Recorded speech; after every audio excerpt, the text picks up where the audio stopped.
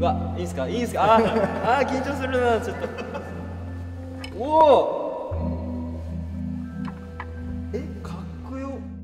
高め合ってるなって感じれる部分があるので自分も本当にリスペクトしてますし向こうも本当にリスペクトして商品をこう作ってきてくれるのでその熱意も本当に伝わりますし自分もすごく感じるのでその商品をもっと戦う限りは自分ベストを尽くさないといけないなっていうプレッシャーすら感じるぐらいなので本当にいい刺激をもらいながらこっちからもプレッシャーを与えながら、うん、切磋琢磨できてる関係がすごくいいのかなと思います。